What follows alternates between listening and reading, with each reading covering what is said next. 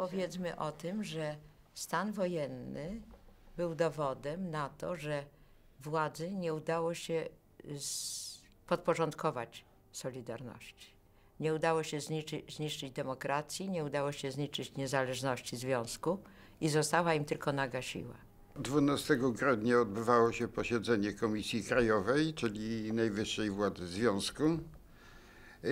I po zakończeniu obrady komisji zakończyły się już w stanie wojennym, bo od 12 został wprowadzony, zakończyły się po 12 w nocy.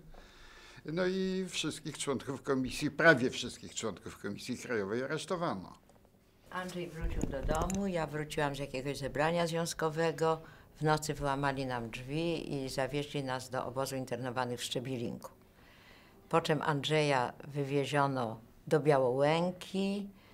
Y, To, był, to było więzienie w Warszawie. I jak się kończył, kończył byliśmy internowani, ale jak się kończył okres internowania, to Andrzej został w więzieniu aresztowany. To taka dziwna formuła jest prawna. Został w więzieniu aresztowany i postawiono mu zarzut obalania ustroju siłą, za co początkowo groziła mu kara śmierci. No, na, na szczęście potem ten zarzut został złagodzony do przygotowania do obalenia ustroju siłą. Ja natomiast wyszłam z obozu internowanych po siedmiu miesiącach, wtedy kiedy była amnestia dla internowanych kobiet. Wróciłam do pracy i robiłam to samo.